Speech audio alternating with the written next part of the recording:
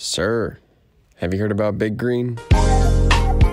BitGreen is a layer 1 blockchain built for sustainability on Polkadot and aiming to use the blockchain to drive capital to sustainability initiatives.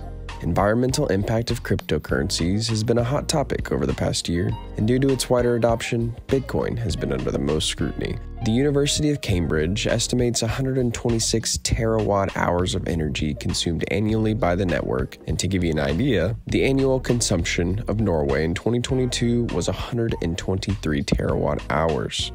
While this is striking, a deeper look reveals that in comparison to relatable traditional sectors, Bitcoin is more energy efficient.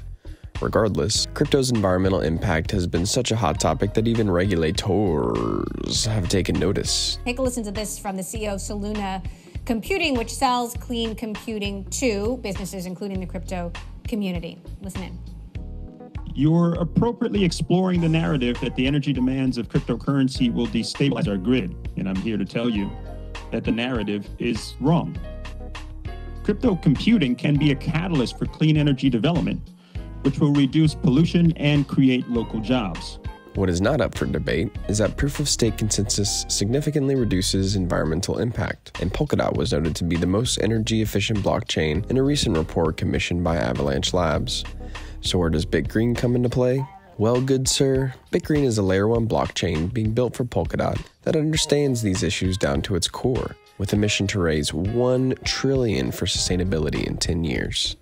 CEO Adam Carver has an MBA and sustainability degree from Michigan University in the United States and has extensive experience in many prominent sectors, including venture capital, DeFi, AngelList, and now BitGreen.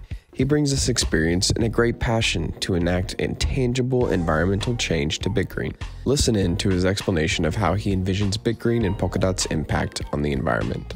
How can we make Polkadot the nerve center, the epicenter of sustainability on chain?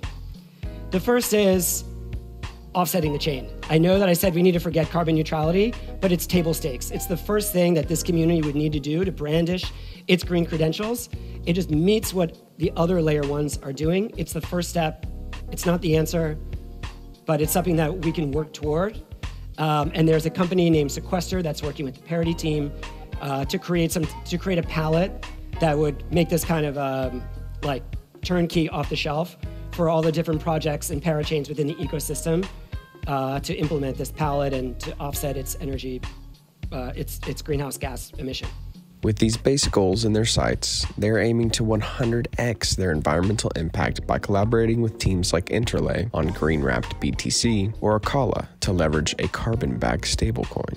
They will focus on tokenizing high quality carbon credits to be traded on the open market. In the traditional sector, large industry players are given an allotted cap of carbon usage. To go over their cap, they buy carbon credits to offset this usage. On the other hand, those with a smaller carbon footprint than their allotted cap create carbon credits and sell them on the open market. Like most financial markets, this has gained significant steam in blockchain due to higher capital efficiency.